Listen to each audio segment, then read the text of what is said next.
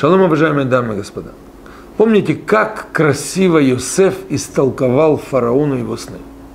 Еще недавний раб, который столько времени провел в темнице, в яме, его вдруг вытащили наверх с помощью Бога.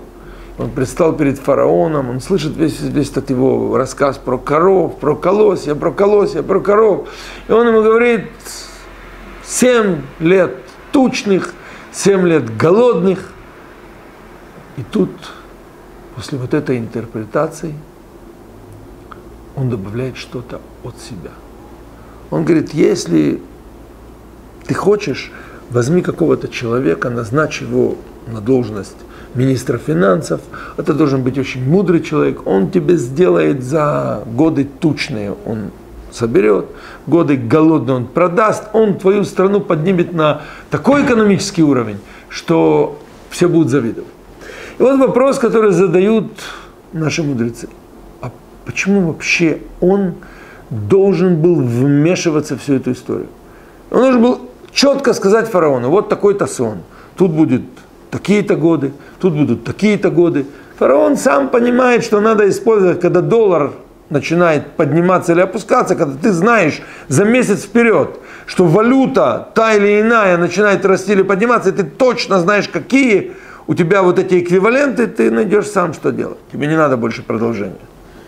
Но Йосеф советует фараону, чтобы он взял кого-то.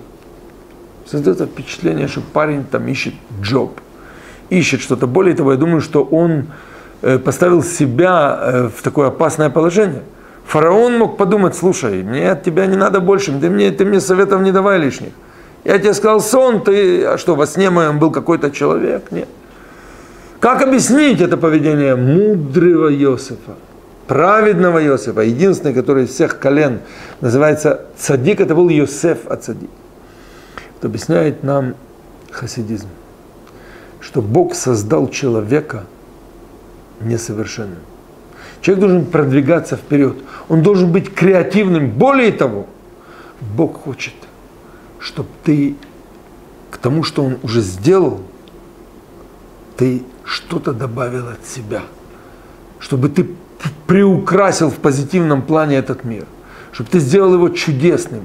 Бог дал тебе эти 10 пальцев и сказал, ты это сделай. Более того, Бог благословляет каждого из нас и говорит, пусть будет благословение в деянии рук твоих. Бехоль маасея деха. Почему написано так? Достаточно, скажи благословение, достаточно. Он хочет, чтобы мы своими руками, а руки это действие. Э, э, это тот же разум, который эти руки, этими руками двигает, чтобы мы стали креативными, чтобы мы искали какие-то пути. Чтобы мы не думали, ну, Бог тебя поставил в эту ситуацию, ну все, ну привел тебя, ну, закончилось. Как в этой одесской песне «Шлемазл геникшин, лавочку закрой». Все, лавочка закрыта, я, все ушли на фронт. Такого нет. Ты должен добавлять от себя свои силы. Приводить этот мир к какому-то моменту, как Йосеф, который дает фараону железный совет. Причем он знал, что делать. Фараон тоже был не глупый человек он почувствовал, что именно этот вот раб, этот еврей, который так мудро все истолковал, он может быть очень полезным. И он благодарен. Может быть, фараон и не мог ему предложить. Представляете, если фараон от себя предложил бы рабу Иосифу, слушай, будь у меня министр финансов. А тут тот сам предложил. То есть мы видим с вами такой вот на, на, на простом, но гениальном уровне работу человеческого разума. И дай Бог, дамы и господа, чтобы мы всегда находили ситуации, как выйти из них или наоборот, как зайти в них, и чтобы был только позитив, креатив и благословение Бога. Шалом, шалом.